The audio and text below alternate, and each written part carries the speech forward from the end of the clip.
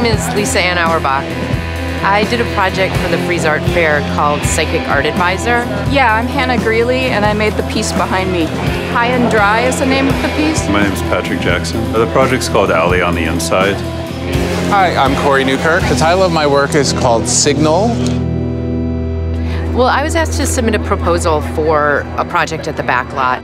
And uh, when the curator of the project, Ali Subotnick, brought all the artists onto the lot to look around and check out spaces they, they might want to use. And just trying to figure out what I could do that was sort of similar to my normal practice, but really taking into consideration this extraordinary fakeness of this back lot. It's as if we're kind of in old, old-timey New York, you know? There's a little bit of nostalgia to this set, I found, and so then I decided to use the old style of hanging up laundry that you would see maybe turn of the century.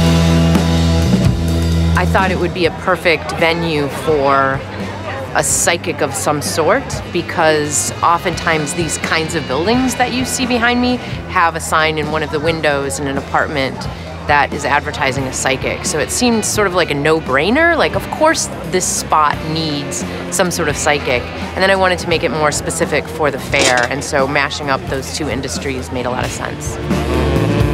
I was interested in this space because when you walk inside, it still feels like you're outside. So the idea came up to make an alley on the inside. The alley that I built inside is the very literal part of it, where it's an alley indoors. But I was also thinking of alley on the inside as a psychological term, um, kind of thinking of the dark corners of the mind or the subconscious. So it was also, it's, uh, the title has a double meaning, both the space and then also as a reference to how the reliefs were made, of kind of trying to pull things out of the subconscious. It's kind of based a little on analog communication, um, things that we don't use anymore, like really shopping, the notion of a shopping cart is very digital these days. Television reception is very digital these days. Also, I think an upside down shopping cart really speaks to the sort of urbanness of this site. I live downtown in Los Angeles and have only ever lived downtown, and so I felt with this piece, I could bring a little bit of the reality that I see and understand every day to this site. And I found this site so rich with history and context. It was like a, an art piece in and of itself, so I found it actually a little intimidating at first.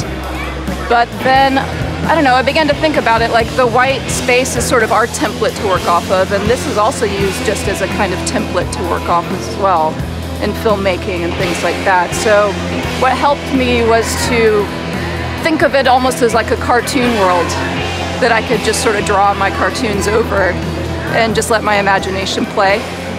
And that sort of freed me up.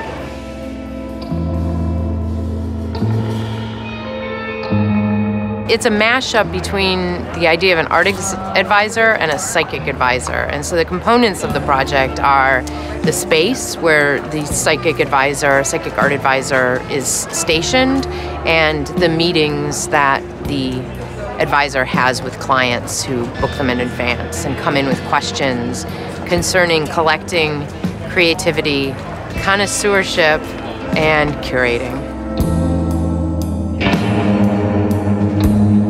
and I'm hanging uh, what looks like like clothes, but it's actually paintings that I did individually, handmade paintings. Uh, but then I included other things that uh, would go into the sky, such as clouds or lightning bolts or helicopters and things like that to kind of create a sort of fictitious, I guess you could call it a tableau of sorts. There's the logic of the clothes that actually go on the clothesline but then as you look up, you see through the, the depth of field, you see these clouds behind you. You might see airplanes flying by. You might see like, I've seen a few. I've seen hawks flying by. I've seen seagulls flying by. So it's almost like I'm looking through, capturing those moments and pinning them up next to the clothes. The way that they're made is I have a tray about the size of my uh, arm reach that's filled with clay and I basically come to the tray and then just make what's on my mind. These are a white cement, so the clay that I make is a cast, a mold is made, and then uh, the final cast is in cement. As far as choosing cement, I tried to do something that sort of felt like it existed in sculpture history. So I was looking at a lot of uh, Greco-Roman kind of uh, artworks and thinking of marble and reliefs, and um, so the cement seemed like a good fit. The antennas are new. The television antennas are very new. I chose to really use new ones. I was not interested in the history of the old ones being brought into this. Right, the, the patina that those already hold, when I look at them up on the roof, I realized that that would give the whole piece another kind of patina that I was not interested in, so I found perfectly new ones. The starfish was a late addition because I didn't think the piece was weird enough without it. I'm not quite sure what that fully means yet, or I'm probably not going to tell you what that fully means yet, uh, but I just felt it needed a little bit of that weirdness along with that rope thing, which is really also a little bit about access. Because of my interest in small businesses and small freestanding businesses with sole proprietorships, I have a space in my backyard that we use for artists who want to start small businesses that are not related directly to their own art practice. And one of those projects was a psychic.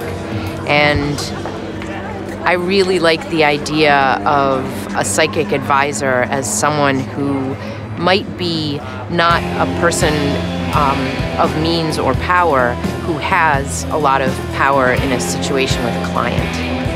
So oftentimes psychics and art advisors are women, and I'm interested in that kind of dynamic of being listened to and having that seat of power. Oh, well, I wanted to talk about sort of the randomness of my experience of the world, you know? Especially in LA, there's a lot of kind of random things that seem to happen that create like almost a surreal quality to the city. But it all just seems to go together and you don't really question it. Um, and it's part of what it's like to live here, I think.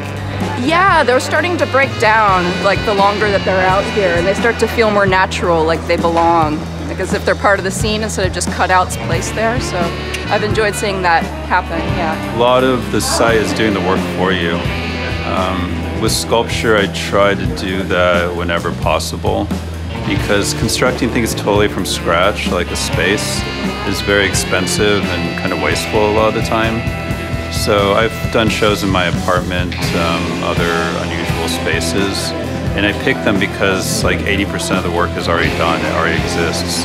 And then you can focus on the real details of like of the sculptures that you place in there. What I find really great about the backlot in comparison and in conjunction with the other work is the work out here tends to be really handmade. There's a real feel of the artist, the touch, the if I think about a lot of the work, Patrick and Hannah, that there is evidence of the making of the work as compared to perhaps some of the work that's going on in the fair, which is really um, commodified and commercialized in a certain way. Because really, at the end of the day, this is an art fair, and it is really all about business.